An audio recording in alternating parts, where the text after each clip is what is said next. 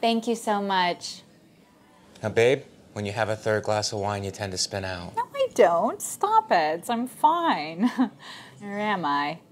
You are. Yeah. Yeah, I'm fine. Just fine. Definitely not great. Babe, you are great. Abundance mindset, Yeah. okay? Let's have some fun. yeah. Yeah, okay? Yeah, you're yeah, right. Let's have fun. Yes, glass half full. Right. Right? Hey, why don't you take baby sips? oh, yeah, baby, which I'm never gonna have because my eggs are freaking dead. Because I was trying to have a career as a lawyer. We all know how that turned out. Why don't we get you some water? We don't even have a pool.